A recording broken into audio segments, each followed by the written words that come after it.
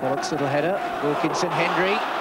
Always danger when Hendrie gets it. Hendrie still going, still Hendrie, Hendrie. It's all going his way, that's for certain. John Hendrie had been a hero of Borough's last promotion, but the new boss had wasted no time in welding new talent onto a team that hadn't proved strong enough to sustain a championship campaign. In Nigel Pearson, he bought a proven captain from Sheffield Wednesday to carry his message out onto the pitch. Behind him, keeper Alan Miller had last given the chance of a regular first-team place after playing number two to England's number one. With defender Neil Cox from Aston Villa, Borough broke the million-pound barrier for the first time. At the other end of the price scale, the experienced Clayton Blackmore arrived as a bargain-free transfer from Robson's old club. But another key signing would be on the bench. Viv Anderson quit managing Barnsley to back his former Old Trafford teammate. Robson needed support if he was to keep on playing. Middlesbrough's pre-season euphoria swept them on to a cracking start. Their fourth win in a row came at many experts' promotion favourites, Derby County. Well, it's Hendrie in space here on the left. Derby with plenty of defenders sprinting back. Hendrie still going. Half loose, and it's there from Blackmore. Keeper Alan Miller had only conceded one goal in five league games when Mick Sunderland came to Ayresome Park, determined to inflict Borough's first defeat. But even when 2-0 up, the Roker men found out a Robson team always fights back. It's Cox now, lifting it in, flying effort away. Moore, Moore a little touch. Moore, what a terrific goal, Alan Moore. Well, it's all Sita behind that goal there, but everybody is standing. And it's there the equaliser, Pearson. Borough are back, and Nigel Pearson Three days later, Borough were back at Ayresome Park to face West Brom. Robson pulled up after this challenge with an injury that was to sideline him for three months. Robbie Mustoe came off the bench to score. The dependable midfielder was to become an even more important figure. Craig Hignett still needed to keep his cool to put away a late winner from the penalty spot. But by that time, Borough had also lost Nigel Pearson, skipper and manager, both out. Brian Robson was confined to the dugout all through October. Regular promotion challengers Millwall arrived at Ayresome Park, struggling to match Middlesbrough's impressive start. It's Mustoe working hard again for possession. Through to Hendrie. No problem. He takes those superbly. Hendrie in the middle. Wilkinson is deeper. Hignett is on the far side. Hendrie. Hignett. Keller again. Wilkinson picks up the pieces. 2-0 the Borough. An own goal made it more comfortable still, and just one defeat in Borough's first 10 games. So far, the goal scorers had a familiar ring. John Hendrie, seven goals already, and alongside him, his striking partner through several hard campaigns, Paul Wilkinson, again proving the attacking mainstays. But Robson wanted the Old Trafford philosophy. Nobody's place was guaranteed. John Hendrie and Paul Wilkinson started off the season really well. Uh, they were scoring goals for us. Um, I brought in Jaime Moreno just to, to give us uh, that that bit of challenge up there because Wilco and John had never had any challenge. Uh, when I came in, even in the reserves, we didn't have any centre forwards at the club. Um, and so Jaime's come in. I think he's, he's got great class, uh, but it took him a long time to adapt to the English way of life, uh, speak English, uh, and just get used to the lads and the way that we play in this country. Neil Cox had also got his name on the score sheet for the first time. The Borough's first million-pound man was showing his worth. The midfield was starting to chip in with its share of goals as well. Down in the engine room, there was no shortage of work to be done, as the boss knew at first hand. Clayton Blackmore come in, he's done the job which I expect him to do from United days. Um, Jamie Pollock and Robbie have both had really good seasons. They've been consistent all the way through. Um, you know, and they've worked very hard in there. Craig Hignett's come in with some very important goals, uh, and so has Alan Moore. You know, so it's balanced off nicely in the midfield area. In terms of profile, the only First Division manager who could begin to match Brian Robson was Graham Taylor at Wolves. The former England boss has spent big money to get Wanderers back in the top flight. At Ayresome Park in November, it was second against first. Mustoe, Hendrie let it go. Hendrie, it's there! Hendrie again. His ninth of the season was enough to put the Borough back on top of the table. The following weekend at Charlton, he was at it again, setting Borough on the road to another vital away win. And this is Hendrie going in towards goal. Can he finish it? He certainly does. A great goal by Middlesbrough after just four minutes. And then there was always the other half of the double act, ready to take over.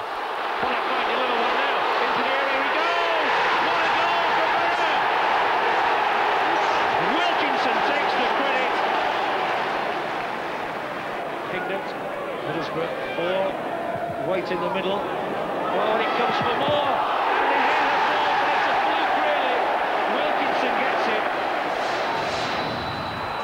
It was Wilkinson who gave Borough another hard-earned away point, this time against the surprise promotion challengers Reading. His goal came from the penalty spot, and surely nobody at the time could have imagined it would be Wilco's last for Borough. But what a contribution he'd made over four seasons. Brian Robson finally came back to active service at Burnley. Three months he'd been out of action, and after a shock home defeat by Southend, Borough needed his inspiration. Just a quarter of an hour into the match, the manager's vision opened the way for John Hendrie to come up with the goods once more. There goes Hendrie. There's the first goal, and Hendrie has done it again. Wilkinson still loose. White, they're all screaming for it more. Hendrie, Hendrie still going. Hendrie again. Alan Moore, who's moved across the front line and setting up Hendrie here, and that's the hat-trick. Hendrie, the man of the match in every sense now. With Robbo back in the middle, it only underlined the extent the manager relied on his first signing, his assistant, Viv Anderson. The good thing about Viv is that he'll not just keep saying yes to me, and he will say, no, I disagree with you there. Um, you know, but that's what I need. I need people who are going to disagree now and again. And then the times when we do agree, we know that it must be a good decision. So Robbo was back. And at Christmas, his heroes were six points clear at the top of the First Division. The skipper was certainly in the festive spirit. Nigel Pearson got his second goal for the club in the home win against Notts County. Just like Jack Charlton's Borough champions, success was built on a rock-solid defence. And at the heart of it, the captain. Robson had taken a gamble buying the big defender who'd been out through injury for a year. But the boss knew nothing could fracture the resolve of a natural leader like Pearson. Nigel's a great competitor. Um, he's got a good character. And I think um, that rubbed off on Stevie Vickers and Derek Whyte especially you know, and um, I think they be, they have become better defenders now through training and seeing Nigel's uh, attitude towards games, and it's rubbed off on them too. Certainly, Steve Vickers seemed to form an instinctive partnership with his skipper. The Bishop Auckland defender hardly missed a game, and his consistency earned him a North East Player of the Year nomination.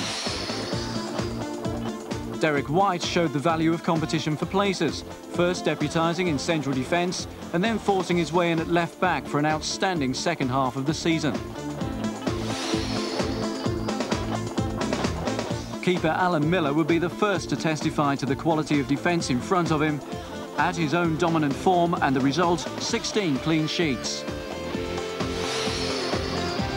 Right back Neil Cox soon showed why Robbo made him the club's record buy a Premiership pedigree with so much future.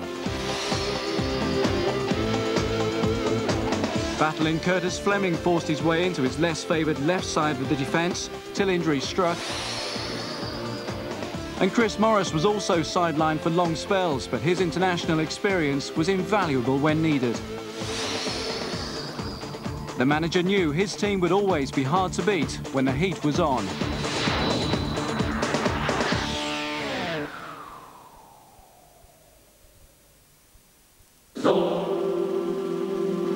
The dirt in your bathroom, there's Jif Micro Liquid, now with its new improved micro power.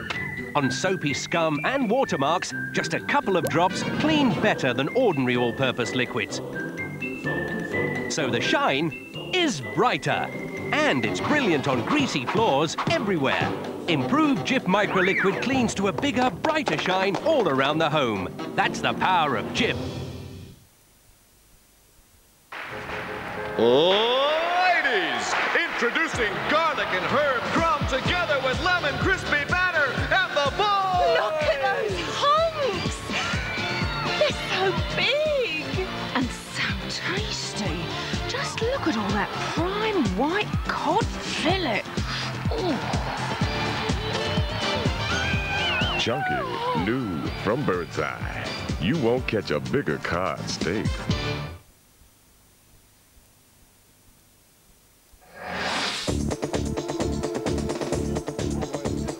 1995 didn't exactly get off to a flyer for Middlesbrough. Five games without a win and out of the cup. The team needed a lift. And they got it from Germany. Uwe Fuchs had arrived on loan from Kaiserslautern, a giant and experienced striker recommended by Robson's former England teammate Tony Woodcock. When Uwe got his place in the starting lineup at home to Charlton, he was an instant hit. His formidable physical presence combined with a surprisingly quick, sure touch. He got the only goal of the game against the Londoners. Then he helped Borough complete a memorable double over big spending Wolves. Jones has come an awful long way, and Fuchs, and Fuchs, and the German makes it 2-0. After that, there was no stopping him, and the fans loved it. Cox having a look up. Fuchs is the target. Bryant slipped, Fuchs could be in here. Has he got the control to finish it? Still with Fuchs. Fuchs. Oh, that's coolly taken by the big German. Here's Fuchs again. Cox chipped in neatly. That's a deft little header on, and Fuchs, first time, another goal for Uwe Fuchs. Good strong challenge there from Mustoe. Now it's Blackmore out wide. Moreno, here comes Fuchs, hat-trick, three more goals for Uwe Fuchs. I brought Uwe in to, to really challenge John and Wilco. Um, and Uwe did that great when he first come. I mean, the, the, well, he's done the job for us. Um, I brought him in to score goals and he scored 9 in 13. Uh, so the lad did well for us. But the big German wasn't stealing all the limelight. One of Borough's less sung heroes was grabbing his share. Robbie Mustoe, that selfless worker in midfield, came up with the goal of a lifetime to help see off Watford. Teesside was relishing a new international mood, and Fuchs was enjoying some South American support. Great ball there to Alan Moore. Fuchs is in the middle, it didn't reach him. Moreno, he scored. The first league goal for Jaime Moreno, the Bolivian. But Middlesbrough could only manage a single home point against a Barnsley team who were emerging promotion challengers. March was proving a tough test, with seven games, five of them at home. When Derby crashed in four goals in front of a bewildered Ayresome Park, Middlesbrough were beginning to rock a little. Robson's team rolled straight into a highly charged local derby against Sunderland. But if the Borough boss thought he was suffering, then the Roker manager had more than his share of worries. Mick Buxton was under real pressure, with appalling home form bringing the threat of relegation.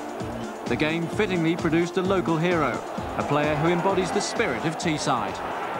Now Pollock on a run through the middle, Pollock with a chance here, Pollock still going, he takes some stopping, Jamie Pollock. The Stockton lad had put Borough back at the head of the First Division. But it was now that Brian Robson's championship-winning mentality really emerged. The time to buy is when you're winning. And on transfer deadline day, Borough bought big. Norwegian international Jan Åge Fjørtoft, the First Division's leading scorer, a stunning piece of business at an almost bargain £1.3 million. Everybody else sat still, and I just felt we needed just to try and lift everybody within the club. Um, and not just within the club, I'm talking about the supporters there as well. And I think with the signing of Jan and at the price, um, I, I, think that did give everybody that bit of buzz. And we were covered in every area then as well. Um, so it, it just gave us that little bit of lift to, to go on to actually win it. But the new record signing had to wait for his debut. International duty took him away from Ayresome Park for the Port Vale game. But his new teammates showed they were also capable of finding the net, including the man who'd signed him. Robson weighs up the options, brings Whyte into play instead. Port Vale have got a lot of men back. Whyte in possession. Still with Whyte. Square for Robson. Goal! Brian Robson, the boss, gets his first goal and leading right from the very front. A 3-0 win put Borough four points clear of Bolton, who had a game in hand. Eight matches to go, with five of them away from home. In the first half at West Brom on April the 1st, the team were looking a little foolish, trailing by one goal. But the second half brought the most emphatic revival possible.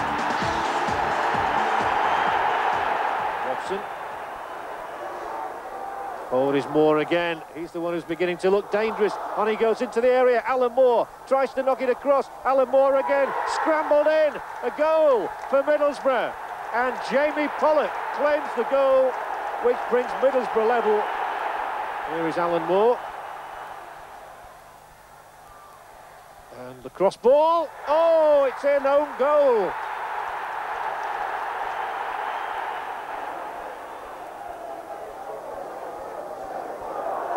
It's broken for Moore, and on he goes, and he's nearly wrestled to the ground. Alan Moore, it's three! And this has been a most astonishing turnaround, instigated by the young Irishman. But defeated Oldham follows, then another anxious afternoon at Ayresome Park against Stoke, until Alan Moore again came up with a brilliant winner. Moore's moment of inspiration was perfectly timed approaching Easter, traditionally when promotion issues start to clear. It was time for the continental double act to come up with the three goals that brought Borough just three points from three desperately tough games. Bottom of the table, Notts County at Meadow Lane proved a tougher prospect than perhaps expected. Enter from the bench, Uwe Fuchs. Sheffield United came to Ayresome Park clinging to their own promotion ambitions, but a certain Norwegian was still looking to get off the mark. A Fjortoft flyer, but again it ended 1-1. Another team of promotion hopefuls, Barnsley, and Fjortoft swoops again. Here's a chance at the other end immediately for Fjortoft, and he's onside this time. Shot and covering. Fjortoft Goal. the shot. Fjortoft the goal. Great goal. That's why they signed him. But another Easter draw. Still, Borough were in pole position. They hadn't lost, so kept ahead of inconsistent Bolton and Tranmere, the main promotion rivals. Two games left, including an historic occasion. April the 30th, 1995, and Ayresome Park staged its final league fixture. The club were determined to say farewell to 92 years of football in style. Borough stars from down the years came back to give the old stadium a memorable send-off. Names woven into the very fabric of Teesside's sporting history. The all-time greats were there, the dashing captain George Hardwick and the golden boy of his era, Wilf Mannion. The heart of Jack Charlton's 74 champions together again, while Tony Mowbray led Borough from bankruptcy to promotion. And from the nostalgia, the attention switched to the future. The fans' choice of name for the club's new home was revealed, Riverside Stadium. It was a superb day of spontaneous emotion and huge expectation. But through all the build-up, Brian Robson had to keep his team concentrating on beating Luton Town. Anything less, and Ayresome Park could face the dramatic uncertainty of the playoffs. Borough corner to the last minute of the first half. Only half away. Hendrie was challenging. Pearson scrapping as well. Hendrie opening up room. It's a goal! Middlesbrough have taken the lead. Hendrie's shot, and Ayresome Park Few square for anything touchdown, but it's lifted in towards Taylor. It's goal. Equaliser. Moore, he can win a game. Pollock, he's the sort of person they'll look to to really push on. Pollock bursting through the men there, and Whyte supporting as well, and still with Whyte, and Hendrie! Goal! Borough! John Hendrie! Hendrie's second, and Middlesbrough back in charge. It turned out to be the perfect day on and off the pitch, especially as rivals Bolton and Tranmere both lost that weekend. Borough's professionalism had shone through on the big occasion. The celebrations were only slightly premature. Bolton had to win in midweek to keep the title race alive, but Brian Robson was nearly there. Orlickson will take the kick. And Shilton's first job is to pick the ball out of the back of the net. And Bolton are in trouble here. That was the goal that eventually won Borough the title, denying Bolton the win they needed, and Middlesbrough were in the Premiership. Next morning, the celebrations could begin. The champagne was flowing. Brian Robson was the toast of Teesside.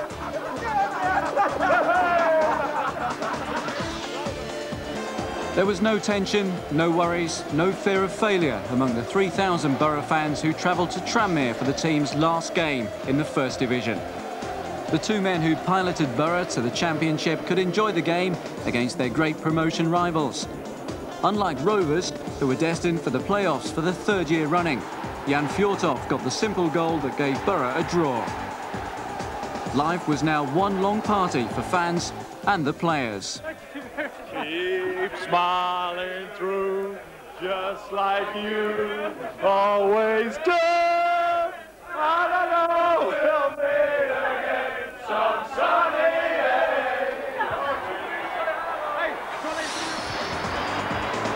Middlesbrough made sure they came home to get their trophy.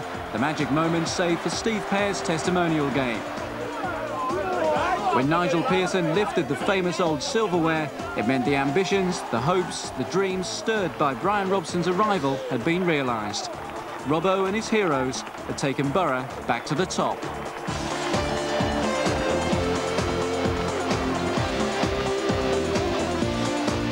I think as long as you're truthful with players and you, you know that's the way you are, then the players will respect that. There's just something about him in the team and as a manager that he just makes you want to play. I think he's just such a winner himself that it makes you want the team want to win. You know, he's so experienced and I've learned so much, you know, as a midfielder, which I'm sure all the other players have learned. Yeah, when he's on the pitch, he helps everybody out.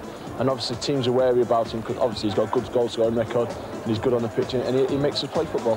Quite he's pleasant. Uh, he's come here, he's promised a lot of things and uh, we've managed to be able to do it. He's been exceptional. Uh, I mean, like I said, even the, the senior players look, look up to him and he's, he's been a tr tremendous influence on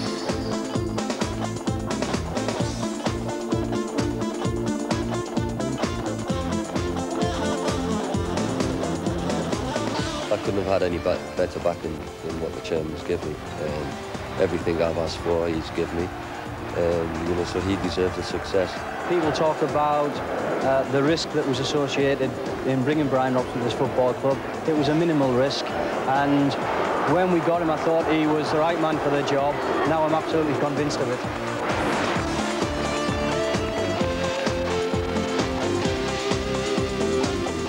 This tribute to First Division champions Middlesbrough is sponsored by Northeast Ford Dealers.